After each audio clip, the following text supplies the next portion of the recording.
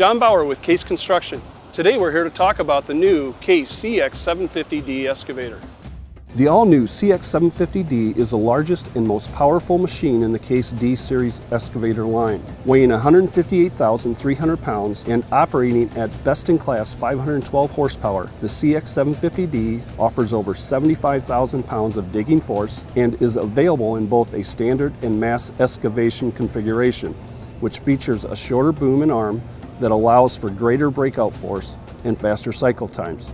The boom and arm, as well as the components of the undercarriage, are all more robust to allow for greater power and productivity. The machine can be operated in one of three operating modes, automatic, heavy, and speed priority.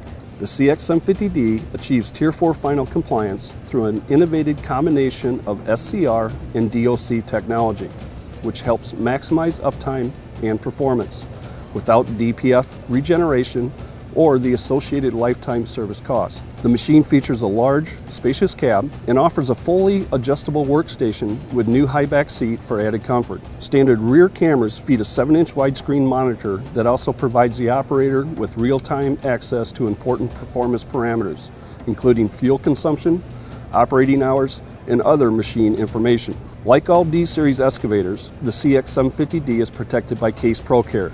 For more information on the CX750D and the full line of Case D-Series excavators, visit casece.com.